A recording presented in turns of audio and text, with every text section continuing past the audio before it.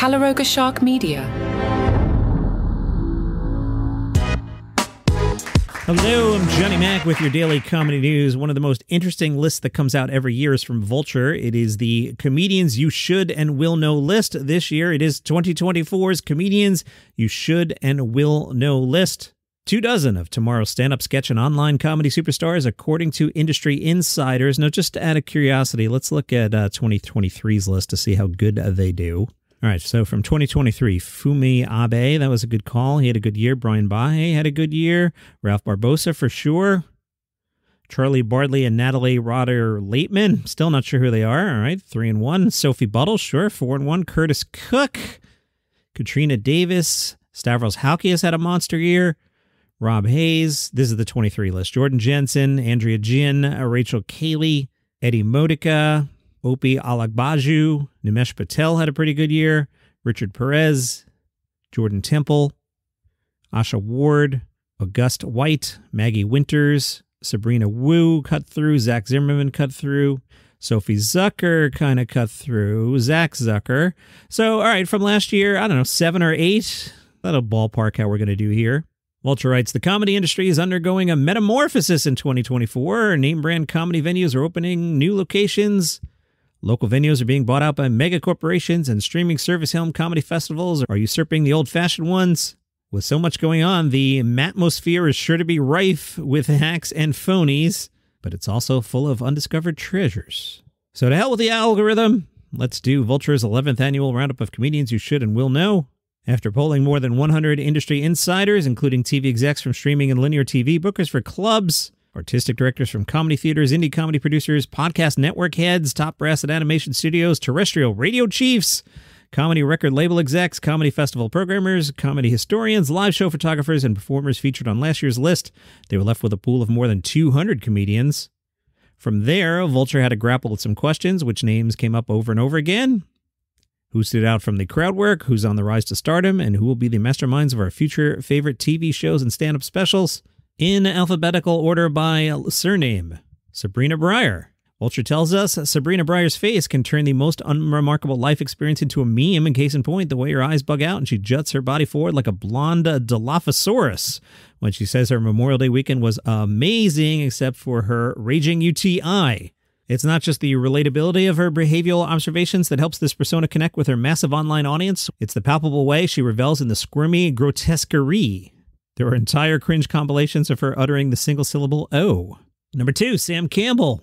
Sam's been buzzing. You've heard me mention Sam over the years here, especially when we talk about the international festivals, Vulture writes, and Sam Campbell's 2022 solo show, Comedy Show, winner of the prestigious Best Comedy Show award at Fringe. The comedian introduced his brand of comic absurdism to the audience with the tongue in cheek one liner My mind is a prison full of crazy ideas, and I think there's going to be a jailbreak. As Campbell has matured as a performer, he's grown more adept at translating his style for mainstream audiences. Campbell's eccentricities are palpable but never alienating. In one 2021 sketch, he plays a boyfriend meeting his girlfriend's discriminatory parents for the first time, but their instant dislike of him isn't rooted in religious or racial prejudice. They simply can't get past the fact that he's 30% transparent. Third up, Nico Carney. Once Nico gets to the part of his set where he reveals that he was a Division One athlete in college, everything clicks into place. Only years of early morning drills and after school practice lead to stand up that's this consistent, smooth, and fine tuned to kill. Carney starts a set with an introduction to his trans identity. People are very curious about trans people. People ask me sometimes, How did you know? When did you know?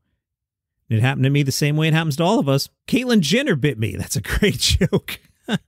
Number four, Aaron Chen. Some comedians stride on stage with a sense of grandiosity and expansiveness. Chen stands, blinks calmly, and waits for the audience to recalibrate to his measured pace. Chen says he took an Uber to the show, and the driver asked if Chen minded if he talked to a friend. Chen says, Of course. And thank you for considering me a friend. what are we up to? Four, George Civeris. George says, I can't believe I fell for orange wine for three years. It's because I have too much faith in food professionals because of my own progressive politics. Civeris is a gay, glasses wearing, cynical Greek man who, in the stand up world, is wildly overeducated. Stanford MIT alum, wow. As he put it to podcast co host Sam Taggart, I'm default either bitchy, condescending, or rude.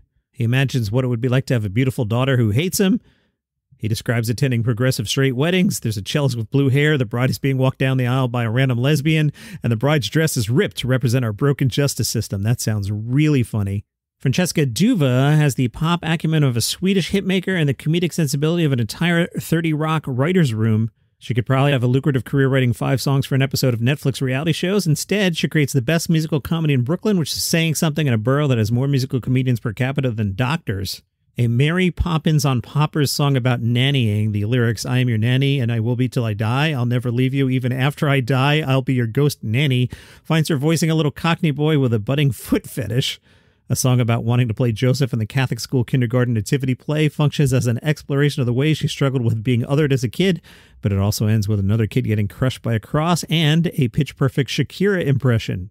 Uh, what do we have to number six here? Brandy Denise. Brandy's signature stand up bit centers on her previous career as a social worker. When she says she'd often get hit on by her clients, you gotta have a lot of confidence to hit on your social worker after the interview. You just told me you live in an underpass. You haven't had a job. You can't feed you. I know you can't feed me. Malik El-Assal, how many comedians can say their journey into the performing arts began with their high school teacher attempting to pilot a theater program just to nurture their talents? Malik delivered book reports at his Islamic private school in Calgary with so much theatrical verb that one kind teacher was inspired to take up his cause. It wasn't long before the program was shut down by another teacher out of an abundance of religious precaution. He impersonates one such teacher with a flair for character work. It says, When you see the power of Allah on the day of judgment, brother, you will not be laughing. Continuing with Vulture's best new comedians at 2024, we're up to Roz Hernandez. Roz is loud, indignant, and ready to entrap both spirits and audience members. In her stand up, she leads audience members down a cliff by coaxing them into saying the other name for a water spritzer, which is Mr., then getting offended that they misgendered her. Part of the fun of Hernandez's act is how her joyfully exuberant style so directly contrasts her connection with the macabre. The classic Hernandez image is of her in a zebra print coat with a blue feather collar, recapping how a ghost ruined her hookup by turning the lights on when her makeup wasn't done. Those shady ass ghosts said, Sir, I want you to see what you've signed up for. That sounds fun and different. Roz Hernandez there. All right, Skylar Higley. I think we're up to number eight here, if I'm counting correctly. And I'm probably not. Higley grew up in Utah as a black child of white Mormon parents. This is, as Higley puts it on stage, half of what's wrong with him. He has a joke about being high on acid while riding public transportation and realizing a guy near him has his whole ass hanging out. I don't want to look at ass. I want to look at a beautiful sunset. I want to see a rainbow. But because I was tripping, I realized I'm not looking at ass. I'm looking at billions and billions of cells made up of billions and billions of atoms. That ass is amazing. That's good. Chloe Hilliard reached six foot one by the age of 12. Her sense of humor stems from being the awkward big girl who had plenty of time to observe others.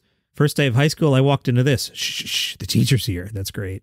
Another bit. LA's origin story is the gold rush. They were like, I'm going to be the one to find a nugget of gold and change my family's life forever. That's why today everyone in Los Angeles is delusional. Hilliard wrote for a Black Lady sketch show and wrote F Your Dia, which was awarded Best Comedy Book in 2020. Uh, Leslie Liao, what are we up to, number 10 here or so? I'm trying to do 12. I realize I can't do 24 today. In her 2023 Netflix verified stand up set, Leslie said, I'm 36 years old. I have a bedtime and decisions to make. I don't have a night.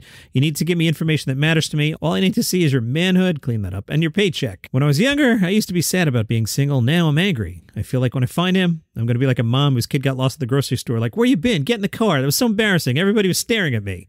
Mandal, all caps, M A N D A L.